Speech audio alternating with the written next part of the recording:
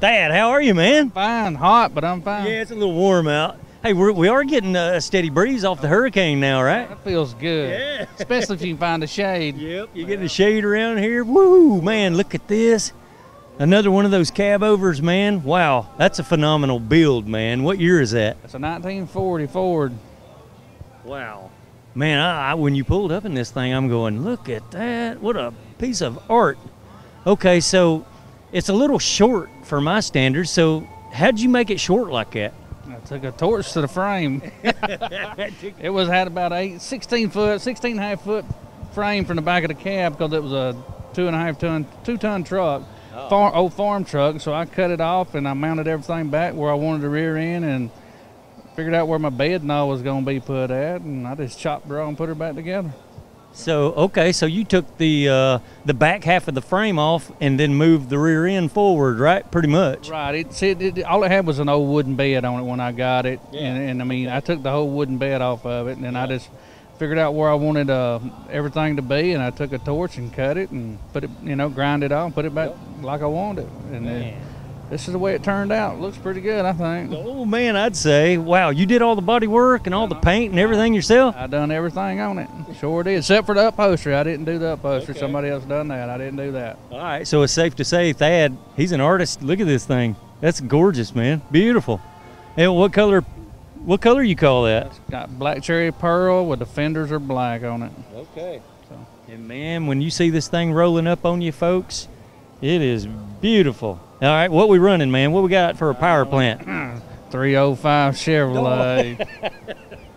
All right. Maybe a Ford, but it's got a yeah, Chevrolet power in it. It's got Chevy power in it. All right, so you got an automatic transmission, perhaps? 400 transmission in it. Yep, yeah. turbo 400. Okay. Um, 370, 370 rear end in it. I have a Chevrolet Blazer. All right. Yeah.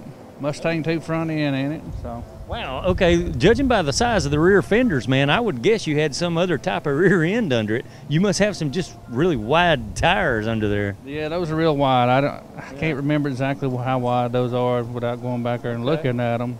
But uh, yeah, that, that the bed is off of a Dodge Power, about a 48, 49 Dodge Power wagon. Yeah. Cut down to fit on this old Ford here, you know, yeah. with them, and that's steel fenders on there too. All the whole bed's steel. Yeah. So in order to look at the engine and all that, you'd have to open up something inside, wouldn't you? Yeah, you'd have to take the whole doghouse out of it. Yeah, okay. We're we, we won't do that. You can't tell it. Yeah, yeah, okay. You but, might get a peek if you look through them our little holes in the grill. I've seen a bunch of people all day trying to figure yeah. out what's under there. Peeking in there, yeah. Yeah. Most people puts them in the back in the in the uh, back of the bed, but I didn't want to do that on this whole truck. I just left it where it was at. All right. Well, I got, got original frame under it, so and I just put the Chevrolet motor right where I want it. All right.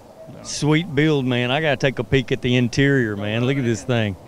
Wow. Okay. Hey, there's plenty of leg room and headroom in there. That's for sure. These these old cab overs, man. They, they they're roomy. Some, you know, it's uh, it's a little bit tight in there when you sit in there and try to drive it. It is tight. Yeah. It, it really is. Yeah. They made these trucks for the farm. They didn't make them drive down the road every day. yeah. They made them for the farm, and Thad made it for the road, man. That's that's a road-worthy truck, though, man. Now it is. Now it is. It runs good going down the road. You yeah. think it, it's got air ride suspension under it. It's yeah. good riding a little truck. Oh boy.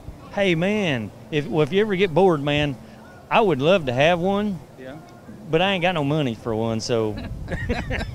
well, I don't know where you're gonna get one of them at. I, this is my third one doing. Well, really? my second cab over, and I got a Dodge Power Wagon I done, okay. and a, well a Chevrolet cab over too that I done. So, yep. but rough estimated value? Don't even have a clue. Just put, yeah. the, put the receipts in the bag and don't even worry don't about even it. look at the receipts. Once you, once you start, you ain't gonna stop till yep. you get finished. Gotcha.